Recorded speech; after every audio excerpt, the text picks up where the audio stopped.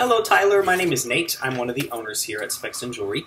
Um, today, I want to say hi with a short video and tell you thank you for shopping with us. I've finished creating your special ring and I'm going to ship it soon. So today, I'm doing your final size and quality control check um, before we get it shipped out your way. And so um, I'll start with the width of the ring. You said you wanted a 7 millimeter width, and so I'll go ahead and measure that first, and that's perfect at 7 millimeters.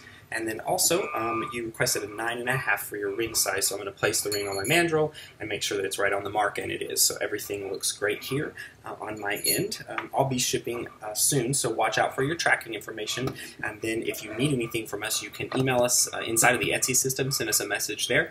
Or you can also call me at 844 uh, Spexton. Uh, but again, I thank you very much for the opportunity to create the ring, and uh, watch out for your tracking. Give me a shout if you need anything. Thanks so much, and have a good day. Bye, Tyler.